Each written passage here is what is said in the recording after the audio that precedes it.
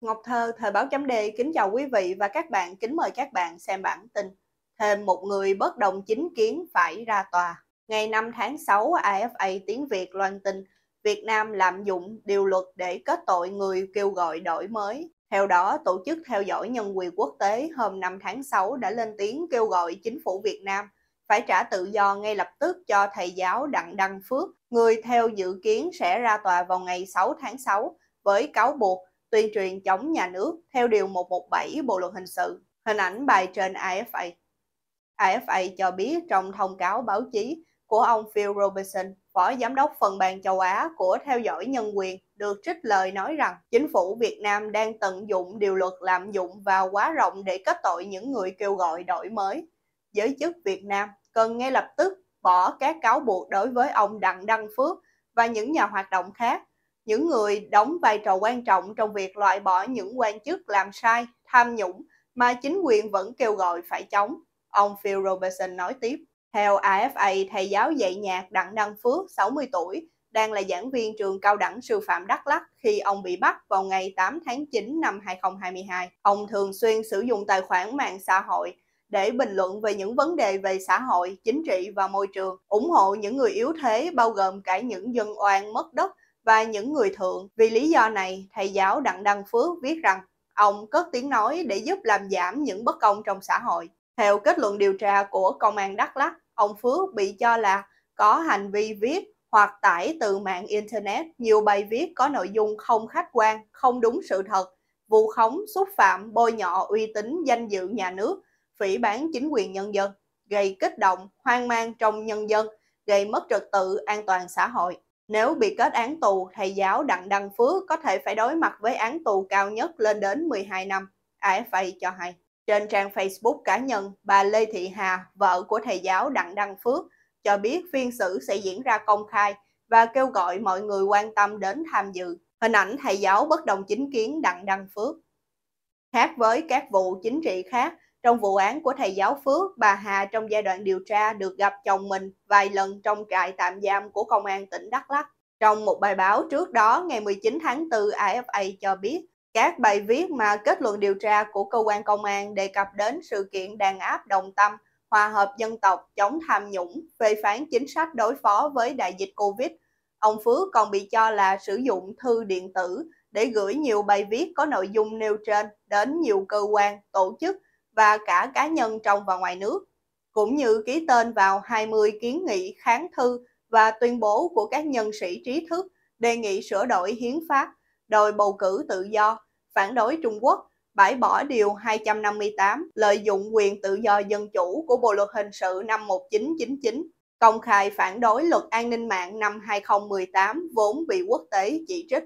Ông Phước cũng bị cáo buộc đã trực tiếp hát và đánh đàn cho người khác hát nhiều bài với nội dung gây chiến tranh tâm lý nhằm mục đích chống nhà nước và lôi kéo người bất đồng chính kiến, nhẹ dạ để diễn biến hòa bình. Các bài hát mà phía công an nêu tên gồm có Gánh xiết to trên quê hương bé nhỏ của nhạc sĩ Tuấn Khanh, Chúng đi buôn và Con đường Việt Nam. Tuy nhiên, phía công an không xác định được cụ thể thông tin cá nhân của nhạc sĩ Tuấn Khanh để điều tra về bài hát được cho là của ông, AFA cho hay, Việt Nam vẫn thường xuyên sử dụng các điều luật như 117, điều 79 cũ và điều 331, điều 88 cũ của Bộ luật hình sự 2015 để bỏ tù những người bất đồng chính kiến.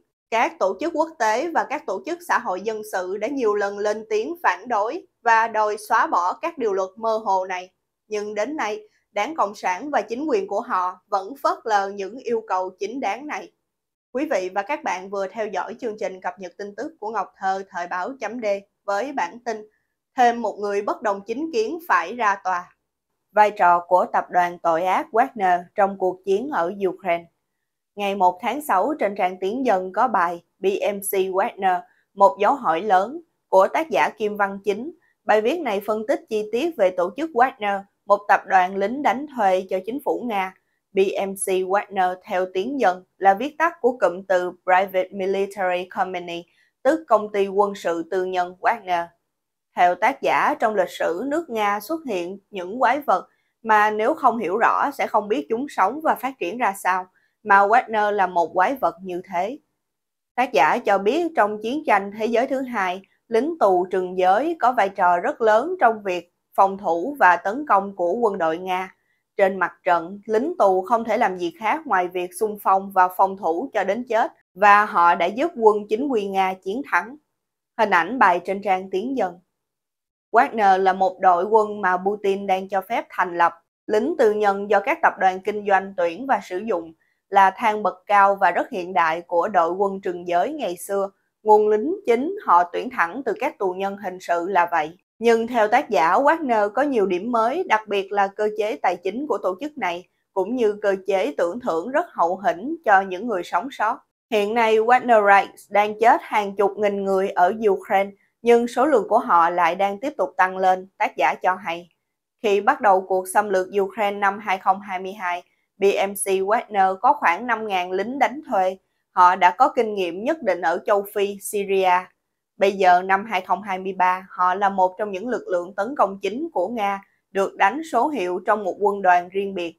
Điều quan trọng là nhân sự của họ có thể đã tăng gấp 10 lần. Lãnh đạo Wagner, Yevgeny Prigozhin, công khai khoe khoang về những vụ hành quyết tàn bạo và tội ác chiến tranh của Wagner.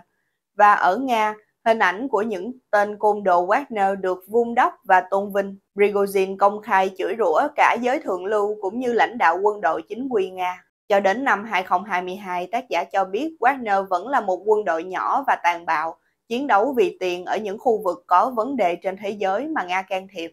Thì từ cuộc chiến quy mô lớn ở Ukraine, vai trò của họ ngày càng tăng. Hiện tại nó là một quân đội thực sự riêng biệt và với các vũ khí như xe tăng, pháo binh, phòng không và không quân, nó được trang bị tốt hơn so với một số đơn vị quân đội chính quy của Nga và nhận được sự hỗ trợ từ Bộ Quốc phòng Nga ngang bằng với các quân đội chính quy. Cấu trúc cốt lõi của Wagnerian, còn gọi là khung, là những người lính đánh thuê, lính nhảy dù Nga hoặc lực lượng đặc biệt đã ký hợp đồng với nhóm trong nhiều năm, đến với Wagner vì tiền Khung được lãnh đạo bởi một trung tá đã nghỉ hưu của lực lượng tác chiến đặc biệt GIU của Liên bang Nga, Dmitry Ukin. Những người lính đánh thuê này đã tích cực tham gia vào các trận chiến ở Donbass, phía đông Ukraine từ năm 2014, đặc biệt đối với Debaltseve, sau đó là Syria và châu Phi.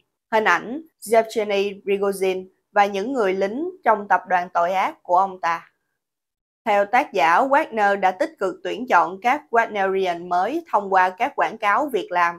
Họ nhắm đến những người đã nghỉ hưu có kinh nghiệm quân sự và kỹ thuật phong phú ở Afghanistan, Chechnya và đến tù nhân. Tù nhân được đề nghị một hợp đồng 6 tháng để đổi lấy việc trả hết tiền án của họ. Có hơn 40.000 tù nhân Nga đã được tuyển dụng, chiếm khoảng 80% nhóm, và nguồn này vẫn còn nhiều. Hầu hết họ là những người đã phạm những tội ác giả mang và nhận bản án chung thân tử hình hoặc tù hơn 10 năm. Theo tình báo Anh, 90% Wagnerites bị giết vào tháng 12 năm 2022, chính xác là những người từng bị kết án, tác giả cho hay. Wagner là mẫu lính đánh thuê cổ điển tham gia hoàn toàn vì tiền, không có lý tưởng. Các Wagnerites mới được tuyển dụng có mức lương 240.000 rúp, tương đương 3.500 USD để tham gia chiến sự Lương 80.000 rúp trong thời gian huấn luyện, đối với cái chết, gia đình họ được nhận khoản bồi thường từ 3 tới 5 triệu rúp. Đối với các tù nhân, động cơ chính là việc xóa án tích chứ không phải là tiền. Những người khung và về hưu nhận được mức lương cao hơn nhiều, có lẽ là 5.000 đến 10.000 USD mỗi tháng ngang với lính đánh thuê nước ngoài. Ở Ukraine, Wagner tham gia vào các cuộc tấn công và đe dọa dân thường hơn là trong các cuộc chiến thực sự, Họ giết những người Ukraine mà họ cho là nguy hiểm. Vào tháng 7 và tháng 8 năm 2022, khi quân đội Nga bắt đầu gặp vấn đề nghiêm trọng, lực lượng đáng kể đã bị tiêu hao. Nga quyết định đóng một phần hướng Kharkov và Donetsk bằng các tiểu đoàn tình nguyện vào Wagner Sau đó, nhóm Wagner trở thành một đơn vị tấn công theo hướng Bakhmut và Prigozhin đã thành công, ít nhất là cho đến nay. Lý giải về sự thành công của Wagner so với quân đội chính quy Nga, tác giả cho biết người lính của quân đội chính quy Nga không muốn chiến đấu, trong khi đó các Wagnerites sẵn sàng làm bất cứ điều gì vì tiền hoặc vì động cơ ra tù. Họ đã từng làm những công việc bẩn thỉu, ác liệt và ghê tởm nhất như giết các nhà báo ở Cộng hòa Trung Phi và hàng trăm dân thường ở Mali, tra tấn và giết hại thường dân ở Syria theo cách giả man nhất, đồng thời gây ra những tội ác khủng khiếp khác. Ngoài ra, phải thừa nhận Wagner thực sự huấn luyện binh lính khá tốt, có một thỏa thuận đơn giản với các tù nhân Wagner. Nếu bạn sống sót trong hợp đồng, bạn sẽ được tự do. Theo Bộ trưởng Quốc phòng Anh, khoảng 70% tù nhân Wagner không sống đến cuối hợp đồng, nhưng có những tù nhân đầu tiên may mắn sống sót đã được trả tự do. Quý vị và các bạn vừa theo dõi chương trình cập nhật tin tức của Ngọc Thơ thời báo chấm D với bản tin vai trò của tập đoàn tội ác Wagner trong cuộc chiến ở Ukraine. Quý vị và các bạn hãy chia sẻ video này để nhiều người cùng biết cũng như bấm nút đăng ký kênh YouTube và Facebook của Thời báo chấm D để được cập nhật những bản tin mới nhất, nhanh nhất và trung thực nhất. Ngọc Thơ Thời báo chấm D